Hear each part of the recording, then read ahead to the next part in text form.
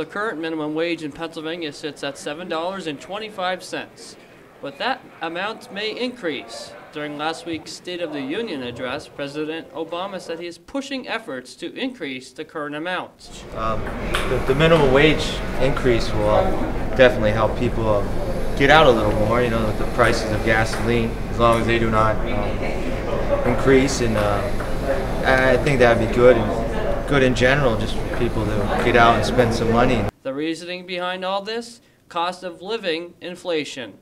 News 3 obtained some insight today from college students, many of which work minimum wage jobs.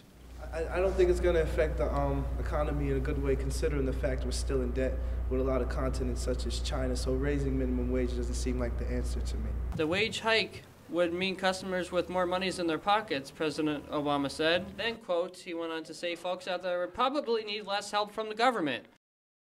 I think it's a very good idea. Um, you know, the minimum wage should always go up, uh, but the only problem with that is I don't know how it's it's it's like going to affect the uh, the owners of like the smaller stores that can't afford. The bill needs to be approved by Congress and then it would go into effect.